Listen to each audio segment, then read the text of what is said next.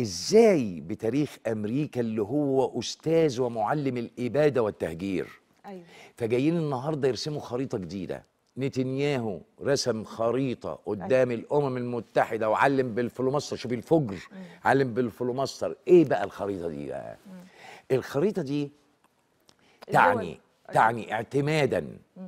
تعتمد. على التطبيع مع السعودية والإمارات. كده واضحة لأن إحنا مش. هنقول حاجة مستخبية ولا بتاع. ليه؟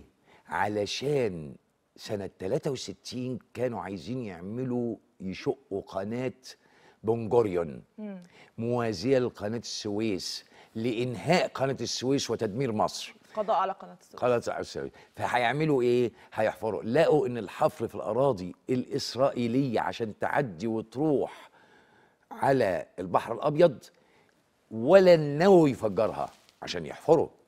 هم عايزين يحفروا أعمق من قناة السويس المصرية.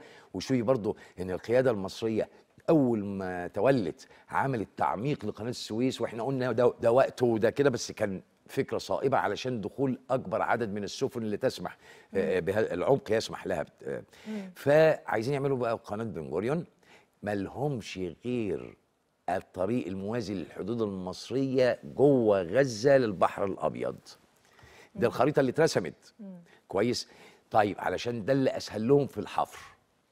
ويعملوا خط بري من مكة لما نتنياهو في التلفزيون. قعد يرقص وهو بيرشح نفسه. قال وبعدين هيبقى في طريق بين مكة لتل أبيب. yes yes yes طبعا بالنسبة له دي حاجة ده فيديو موجود بس إعجاز عشان اللي طبعاً. هيتكلم يقول أيوة. المعلومات دي منين. أيوة، أيوة. إحنا بنتفرج زي المشاهدين. أنا مواطن مصري بتحلل، عربي بتحلل. مهم مهموم باللي بيحصل وبتابع اللي بيحصل. وفي حاجات طبعا تخاريف الواحد ما بيصدقها وما بيسمعهاش. فعشان يعمل ده ده أنت هتضر مصر. يعني مصر لما عملت سلام مع إسرائيل وأنا بعتبره سلام برضه منقوص وده اللي كان ضايقنا في عصر عبد آه، السادات إن إحنا شايفين آه إحنا عايزين سلام بس ما يبقاش منقوص.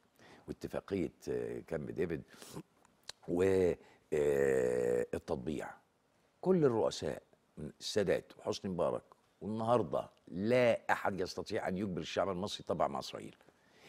في دول بقى ما هياش على خط التماس مع إسرائيل ولا حربت إسرائيل ولا لها علاقة بالمسألة لا دي طبعت مع إسرائيل. أيوه بس في دول طبعت مع إسرائيل لكن الشعوب ما طبعتش. وفي دول الشعب طبع. أنا بقول لك الشعب المصري ليه؟ طلع مرة حسني مبارك وقالها. قال بيضغطوا عليا. وأنا ما- ماليش ماليش إني أجبر الشعب المصري على التطبيع. الشعب المصري رافض. أيوه. كويس. إنما عشان السلام الدولة بتتعامل. في سفير هنا وفي سفير هنا وفي علاقات يعني علاقات سياسيه آه سياسية. علاقات سياسية. النهارده عدوك بيأذيكي. مش عادي. إيه بقى؟ آه ما أنا أنا؟ عايزة أرجع لحتة بس عشان مش عايزة تفوتني. حضرتك قلت المقصود من كل اللي بيحصل ده مش غزة. المقصود هو مصر. أي. مقصود بسينا ال- الناس لازم تفهم.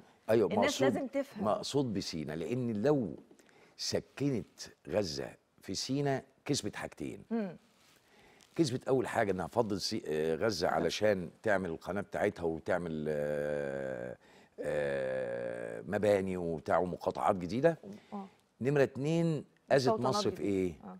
اذت مصر بانها بقى في مشكلة لو رصاصة خرجت من سينا تعلن الحرب على مصر بالظبط وهنبقى إحنا قاعدين قدام موقف بصراحة أنا شايف إن سواء المصريين أو العرب أو الغزاويه الفلسطينيين موافقين أن هذا الغول أمريكا وذراعه الإجرامي الصهيونية إنها ببساطة كده تقول هوزع الناس دي هجرها في الح- في الحتة ديت بمزاجها بتقسم مصر أو بت- بتاخد منها حتة ده كلام مرفوض حتى لو الشعب المصري فقد 50% منه. لو فقد 50% منه إنه يتمس أو الكيان الصهيوني ده ينفذ خطته. مؤامرة حقيرة في منتهى الرعب في منتهى الرعب. ليه في منتهى الرعب؟ علشان الخطة الرئيسية برضو عشان اللي بتوع الناس اللي ضد المؤامرة. هي ما- معلنة. من الفرات للنيل لقوها صع... يعني من النيل للفرات لقوها صعبة. فعدلوها اللي هو هيرتزل كان قايل من النيل للفرات ده المشروع القومي للصهاينة. لقوها صعبة قال لك لا من الفرات للنيل. وده حصل الفرات الأول. مم. ها؟ مم. لما يطلع مستشار الأمن القومي في ال في, ال- الأمم الكيان ال- الصهيوني في الكيان الصهيوني مستشار ال- العسكري مم. يقول لك بعد ما نسكن الفلسطينيين في سيناء بالتليفون شوف الإهانة. بالتليفون لأي دولة هي بقت تحت الحكم العسكري الص- الصهيوني.